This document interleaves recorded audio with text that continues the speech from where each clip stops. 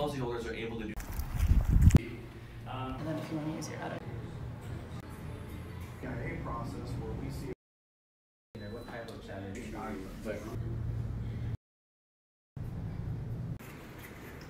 Get a customer and you put this in front of them. They are advocating on this. Uh, and the analysis. Yeah, fifty thousand dollars. Does that make sense? You're, you're Yeah. Uh, one of the things we want.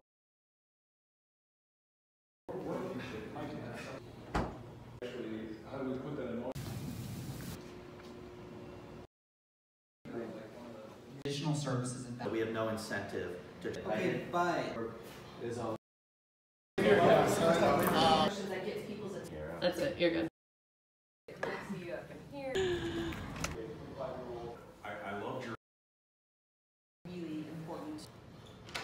our